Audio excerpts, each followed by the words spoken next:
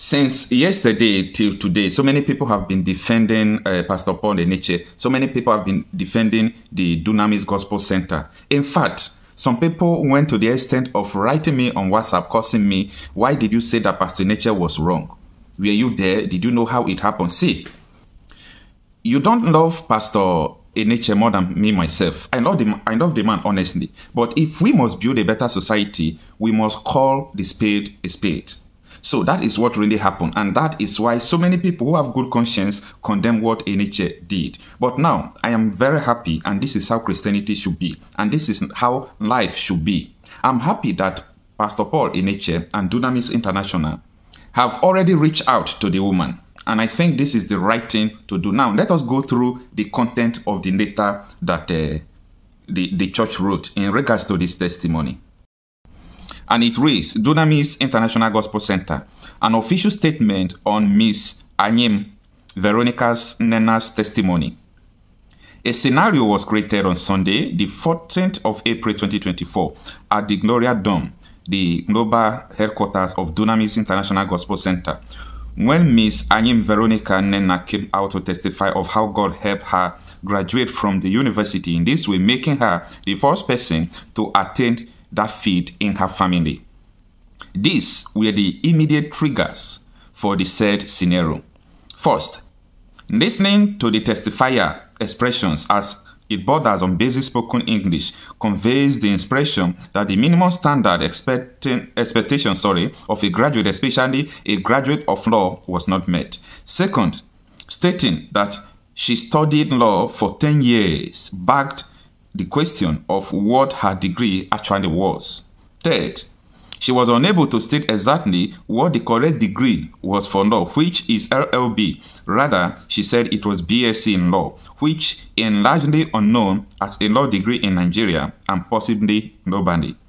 This prompted the senior pastor, uh, Pastor Dr. Paul Enenche, to stop the testimony immediately as a product of a lie. However, relief came when it was later confirmed that she actually graduated from a university.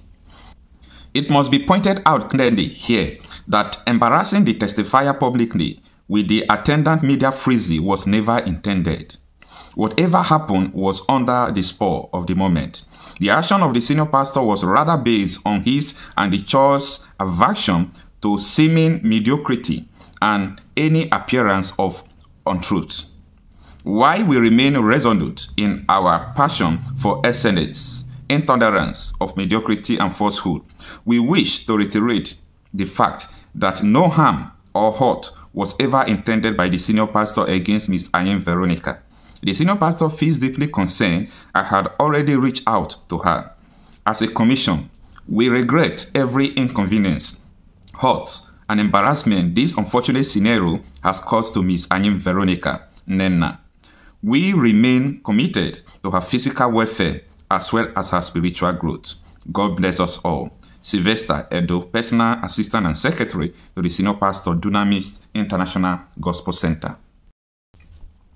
Yes, this is maturity. This is how it should be. Dr. Paul is a good man, a very good man for that matter.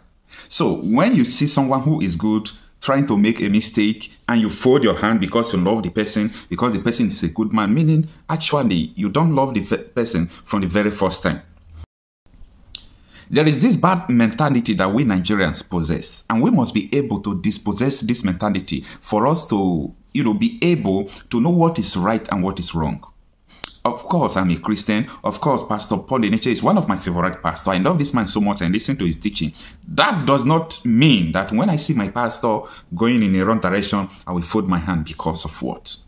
We Nigerians must be able to stand to the integrity of our mind. It's not fair that if that lady uh, don't see people who come out to talk in favor of what was wrong against her, I believe the lady will now feel relieved that Pastor Enenche uh, have apologized.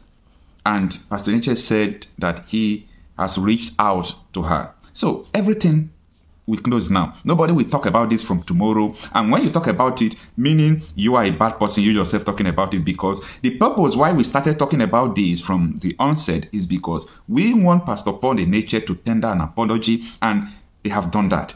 Case closed. Everyone can make mistake. We are all human beings. There is no one that is above mistake. Yes, according to what Pastor Paul Enenche wrote, he was taking some measures to make sure to make sure that people who are coming to give, you know, fake testimonies that are not true, later they will say church now connive with them to do that. You know, I understand his own side of the story. That this is what he's trying to stop. You know, there is no one that is trying to say that what Paul Enenche was trying to do was not good. But there is a, you know, Paul Enenche is supposed to ask this lady question, are you sure you are a graduate? Which could you try to ask more questions to know why?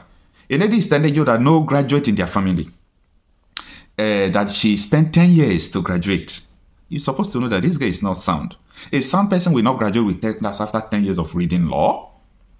And that is to say that the university she graduated from is not university that you can buy. Because if it is an university you can buy, she will graduate with five, six years that her mates are graduating with.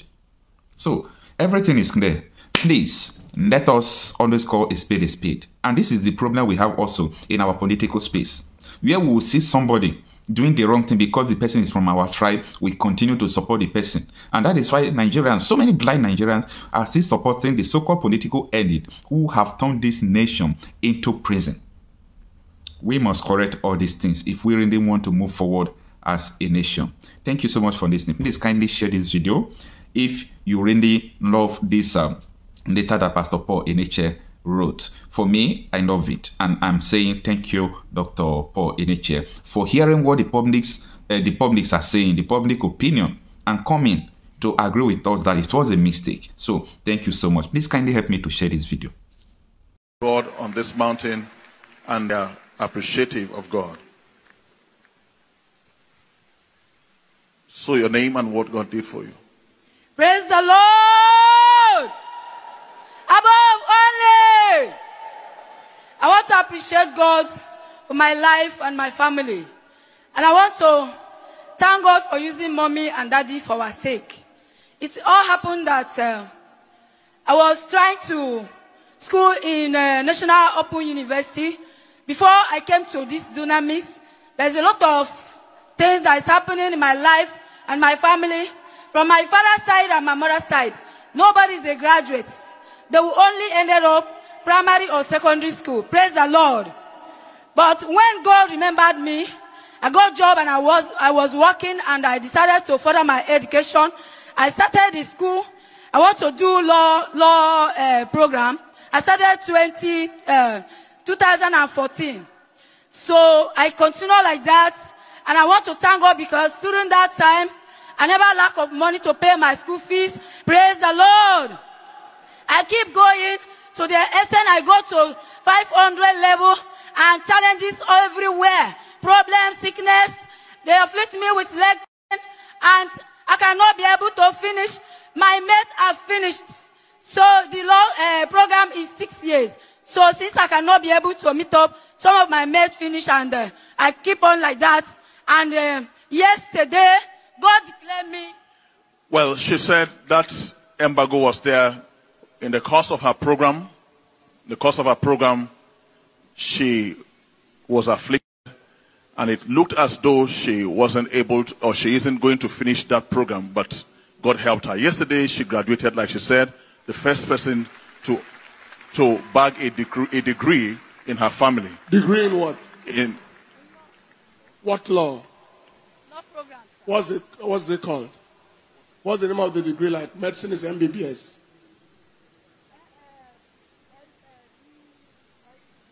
Give her, give her the mic.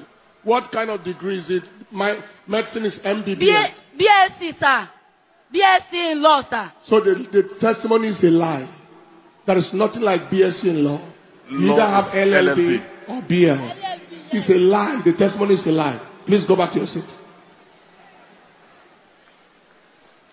BSc law. Is that how lawyers speak English? Please. Please, anybody who come to this altar to share a testimony that is not true, you do it at the risk of yourself.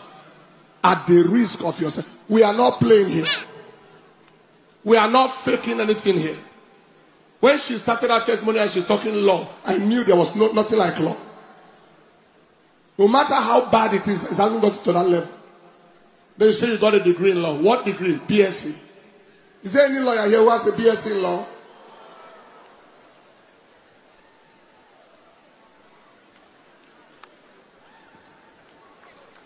Lie testimony. Come to stand on the altar to tell lies in the name of testifying.